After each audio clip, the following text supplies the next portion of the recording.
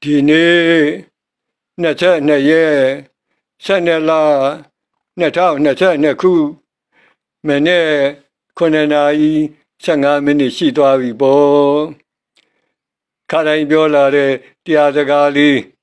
ဟုတ်လားတရက်နှစ်ရက်လွန်သွားတယ်ဒီနေ့တော့ခေါင်းစဉ်လေးလေပြောင်းတတ်မယ်လို့အဲ့ဒီလိုစိတ်ကူးရှိပါတယ် ပြောင်းတတ်မဲ့ခေါင်းစဉ်လေးကတော့ပြမေသူမဲ့ခင်တွေ့ချင်းလျင်အမှန်မင်းနိဗ္ဗာန်ရောက်နိုင်ကြောင်းဆိုတဲ့ခေါင်းစဉ်လေးပါပဲအနှစ်သာရအဖြစ်ကတော့ဘာမှတိတ်မထူးဘူးလို့လည်းပြောနိုင်ပါတယ်တကယ်ကတော့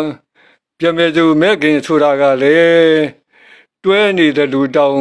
ပြောရမှာပါဘာပြုလို့တုံးဆိုရင် ပြမေသူဖြစ်တဲ့ဒီအဒေါသစိတ္တိတ်အဲ့ဒါဟာမေတ္တာကိုပြောရရောက်ပါတယ်အတူတူပါပဲဒါအပြပါဒဝိတေတုအဝိဝိန္ဒဝိတေတုဒိဋ္ဌမဝိတေတုဆိုတာလေတမ္မာသင်္ကပ္ပမဲ့ခင်ကိုပြောရရောက်ပါတယ်စကလုံးကွဲပြီမေလို့ဒါကြောင့်မူဒီတမ္မာသင်္ကပ္ပမဲ့ခင်ဖြစ်တဲ့ အပြပါဒဝိတေမေတ္တာတရားအဝိန္ဒဝိတေကရုဏာတရားနိခမဝိတေလွတ်မြောက်မှုဥပေက္ခနဲ့လေသူကြဆိုင်တာပေါ့အဲ့ဒါဒီအကုန်လုံးဟာဒါမက်ခင်ဒီပါပဲတမ္မာတင်ကပ္ပမက်ခင်ဒီပါပဲအဲ့ဒီတမ္မာတင်ကပ္ပမက်ခင်ဖြစ်တဲ့မေတ္တာတွေကရုဏာတွေဥပေက္ခတွေပွားလိုက်ပြီး ကိုယ့်ရဲ့တန်တန်မှာရှိနေပြီဆိုရင်ကိုယ့်လက်တွေခြေတွေလှုပ်တာကာယကံတွေဝစီကံတွေအကုန်လုံးဟာလေမက်ခင်ဖြစ်ကုန်တော့တာပါပဲကဲဥပမာပြောမယ်ဆိုပါတော့ကိုသားသမီးပေါ်မှာမေတ္တာပြေဝနေတဲ့မိခင်ကကိုအစားစားတယ်ဆိုတာနံပါတ်1ကိုချမ်းမအောင်နံပါတ်2ကိုမိသားစုကိုပြုစုဆောင်ရှောက်နိုင်အောင် အဲနံပါတ်3ကြည်ကြပြန့်ပြန့်စဉ်းစားတတ်ရင်တော့ငါတို့လုပ်တဲ့အလုပ်တွေက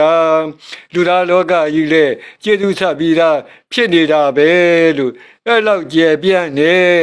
မေတ္တာတွေကရုဏာတွေရှေ့ထားလိုက်ရင်ကိုလုပ်တဲ့အလုပ်တွေအကုန်လုံးကတမန်တကပ္ပမက်ခင်တွေဖြစ်ဟုတ်လားတမဝါစာ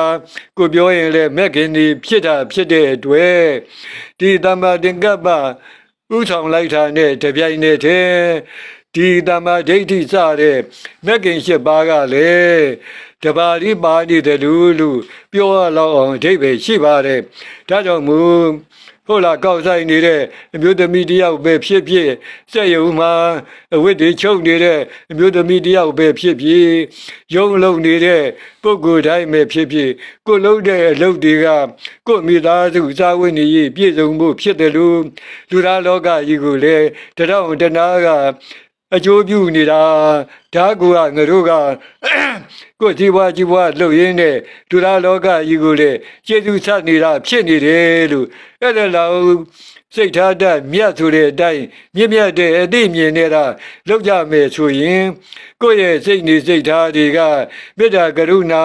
မုဒိတာလို့ခေါ်တဲ့ပြမေသူတရားတွေ ပြတ်ထမ်းပြီးတော့မက်ကင်ရှိပါလဲတပါးလဲပါနိုင်တာဖြစ်တဲ့အတွက်အဲ့ဒီစိတ်ထားအဲ့ဒီအသိမြင်နေတာကြင်ညာမယ်ဆိုရင်ကြင့်သူတိုင်းကြင့်သူတိုင်းဟာစီပွားကြီးဝါလှုပ်ရင်းနဲ့မတည်ခင်မှာပဲကိလေသာခတ်သိမ်းကင်းခြင်းနဲ့နိဗ္ဗာန်ကိုရနိုင်ပါလေလို့ပြောပြီးတော့ဒီကုန်းချုပ်လိုက်ပါတယ်